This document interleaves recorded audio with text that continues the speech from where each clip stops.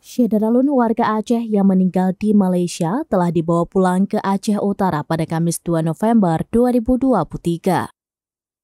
Ketua Umum Persaudaraan Aceh Seranto atau PAS Haji Akhir Kamil SH bersama Ketua Umum PBBAM Teguh Haikal membantu fasilitasi dan terus fokus pada pemulangan jenazah putra-putri Aceh yang meninggal dunia di perantauan. Kali ini jenazah almarhum Adenan bin M. Yusuf Abu Bakar asal desa Tengku di Balai Kecamatan Tanah Luas, Aceh Utara. Adenan sebelumnya dikabarkan meninggal dunia di negeri jiran Malaysia berdasarkan daftar kematian nomor 1833488 tertanggal 30 Oktober 2023 dari Hospital Melaka. Kemudian pada Rabu 1 November 2023, jenazah almarhum Adenan diterbangkan dari Kuala Lumpur ke Bandara Kuala Namu dengan maskapai MH864 pukul 15.50 MYT dan tiba di Kuala Namu pada pukul 16 waktu Indonesia bagian Barat. Setiba di Bandara Kuala Namu langsung disambut oleh relawan persaudaraan Aceh Seranto. Selanjutnya jenazah Adenan diantarkan ke rumah duka Desa Tengku di Bale dengan menggunakan ambulan nomor polisi B1890 FOZ milik Aceh Seranto. Diketahui Adenan yang mengadu nasib lebih kurang tiga tahun di negeri tetangga pulang via kargo maskapai MH864 di dalam peti.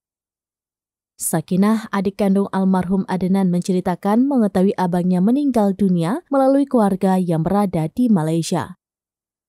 Selanjutnya ia menghubungi salah satu anggota relawan DPC PAS Kecamatan Tanah Luas, M. Jafar, untuk memohon bantuan.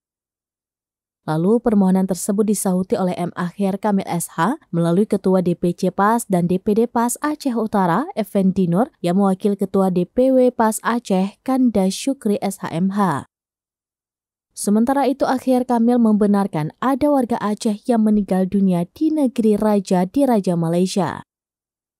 Sebagaimana mestinya relawan persaudaraan Aceh Seranto, Ormas PAS sesuai dengan ADART setiap ada perantau yang meninggal dunia jika diminta bantu oleh pihak keluarga dan diketahui kepala desa akan segera ditangani atau difasilitasi.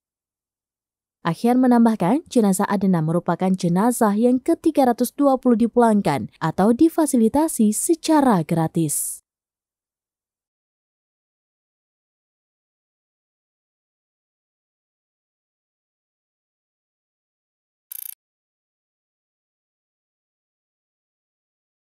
Download Tribun X sekarang, menghadirkan lokal menjadi Indonesia.